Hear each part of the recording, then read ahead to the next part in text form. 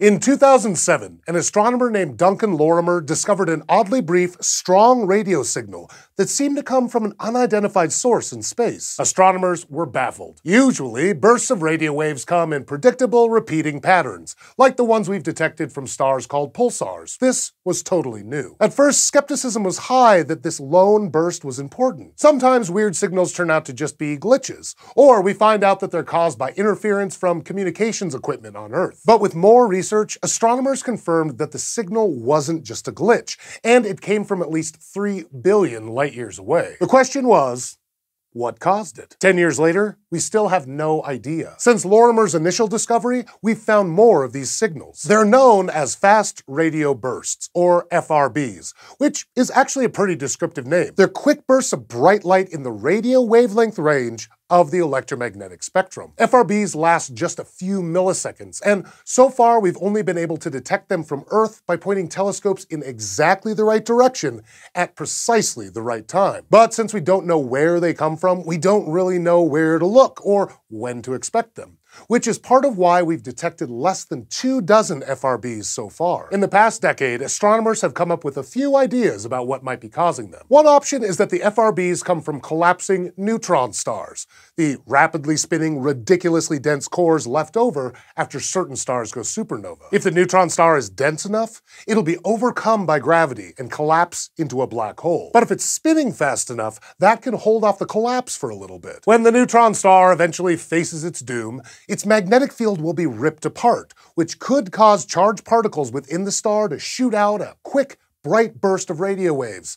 In other words, an FRB. Another possibility is that FRBs come from two very dense objects merging, like black holes or neutron stars. As they spiral in toward each other, the merger causes tons of energy to be thrown out of the system, possibly in the form of a fast radio burst. Researchers have come up with lots of potential explanations like these, but they haven't been able to confirm any of them yet. The other issue is that these explanations only fit single, isolated FRBs. But in 2016, astronomers announced that they discovered 10 repeating bursts that all seem to come from the same source. One possibility is that repeating bursts come from a magnetar, a special type of neutron star that's super magnetic and spins especially fast.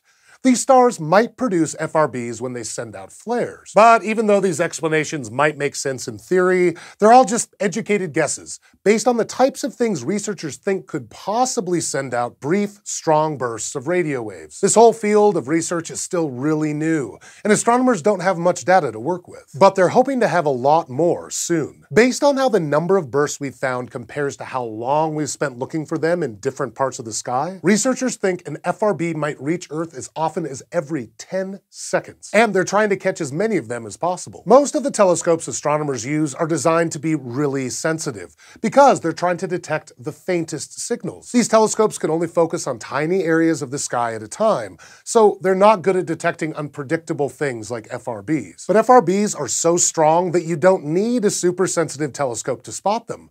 Astronomers are planning to take advantage of that. One of the most promising projects set to start at the end of 2017 will use the Canadian Hydrogen Intensity Mapping Experiment, or CHIME. CHIME is made up of 400 meter long open cylinders with multiple antennas, which will allow it to monitor much larger patches of the sky than other higher sensitivity telescopes that can only monitor one small area at a time. Using CHIME, astronomers think they'll be able to detect more than a dozen FRBs per day. Other projects are using telescopes that are even less sensitive, like one that will use an array of 10 5 meter wide dishes to search huge patches of the sky. So hopefully soon we'll be detecting way more FRBs, which should help astronomers figure out which of their ideas are right. Or maybe they'll find out that all their ideas were wrong. Either way, we still have a lot to learn about what's out there. Thanks for watching this episode of SciShow Space, and thanks especially to our patrons on Patreon who help make this show possible.